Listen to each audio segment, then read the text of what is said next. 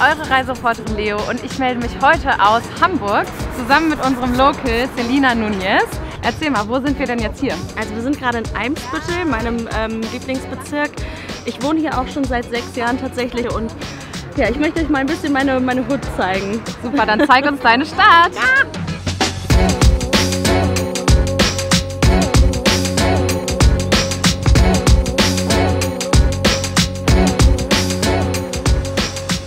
Ja, wir befinden uns jetzt in der Speicherstadt. Das ist mein Top-Insta-Spot Hamburgs. Die Speicherstadt ist ein UNESCO-Weltkulturerbe seit neuestem auch. Und ich finde total zu Recht, weil es einfach einzigartig ist und ich liebe diese roten Backsteinhäuser und die kleinen Kanäle, die man hier findet und bin hier super, super gerne. Ja, dann mache ich jetzt mal ein schönes Foto von dir, würde ich sagen. Ja.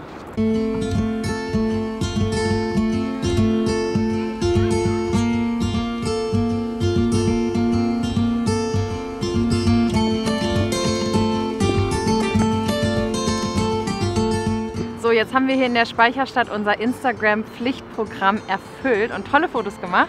Wo gehen wir jetzt als nächstes hin? Jetzt geht es in die Elbphilharmonie. Da gibt es eine schöne Aussichtsplattform und es ist hier halt direkt in der Nähe.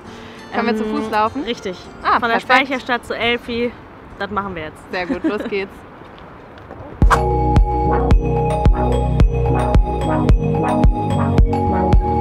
So, wir sind jetzt auf der Rolltreppe von der Elbphilharmonie haben uns hier durchgekämpft. Man muss manchmal ein bisschen anstehen, ne? Ja, also da ist eine Schlange. Man ähm, muss vielleicht ja, fünf Minuten aktuell anstehen an einem Samstag. Das ist okay. Man hat die beste Aussicht Hamburgs for free. Da lohnt es sich auch mal kurz anzustehen.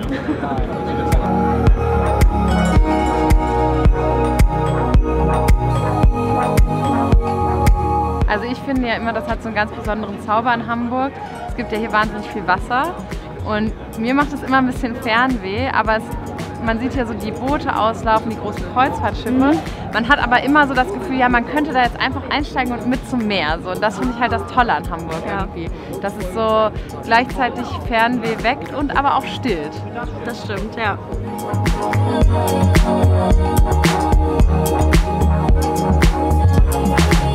nachdem ja sehr, sehr lange an diesem Gebäude gebaut ja. wurde und die Leute so genervt waren, lieben die Hamburger jetzt doch die Elbphilharmonie.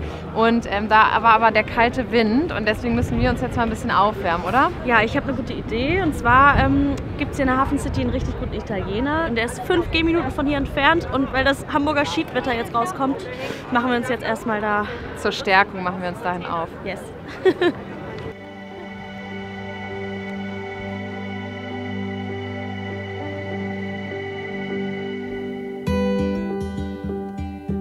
Ja, nachdem wir jetzt hier ein bisschen die schickere Seite von Hamburg kennengelernt haben, zeigst du uns jetzt nochmal das Schanzenviertel.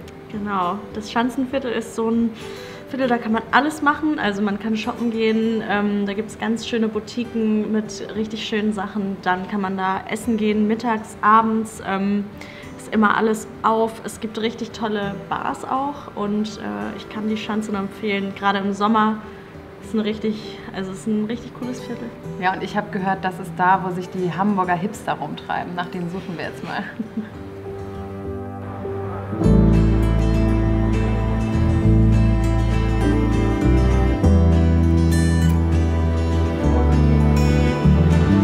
Was ich halt cool finde an der Schanze, ist, dass es echt noch so ein bisschen rough ist. Ne? Also es ist schon natürlich inzwischen sehr gentrifiziert, muss man sich auch nichts vormachen.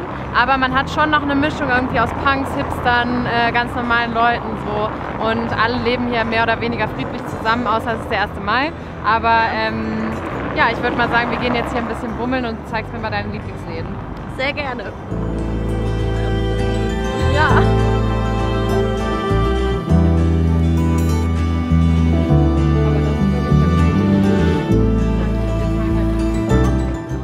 Gerade richtig glücklich, weil äh, in dieser Eisdiele in der Schanze gibt es zum einen veganes Eis und zum zweiten glutenfreie Waffeln. Also genau perfekt für mich.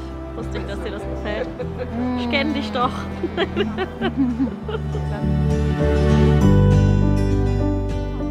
ja, in der Schanze gibt es auch richtig gutes, günstiges Essen und ähm, einer meiner Favoriten ist Kumpir sind Kartoffeln mit verschiedenen Toppings, wie man es so schön sagt. Neu modern, wie man ja, das so genau. sagt. Ähm, und ich liebe den Laden wirklich. Da wird man richtig gut satt und ist unter 5 Euro hier bei einem Abendessen oder Lunch, wie man möchte, dabei.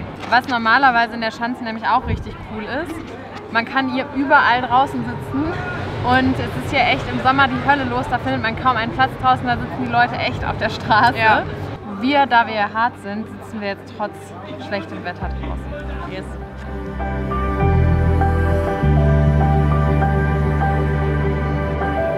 Voll das Massaker auf deinem Teller.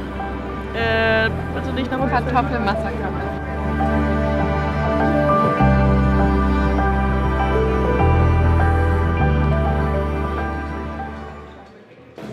Abschluss des Tages sind wir wieder zurück in Einsbüttel angekommen und lassen hier den Abend bei einem schönen Glas Rotwein ausklingen. Und zwar in deiner Lieblingsweinhandel und Weinbar.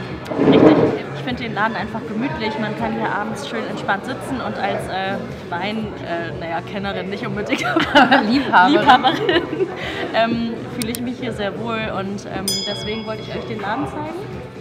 Und ja, dann habt ihr meine Hotspots sozusagen gesehen. Ja, ich hoffe, es vielen, gefällt vielen euch. Dank, dass du uns dein Hamburg gezeigt hast. Gerne. Es war wirklich ein toller Tag. Da drauf zum Wohl. Zum Wohl.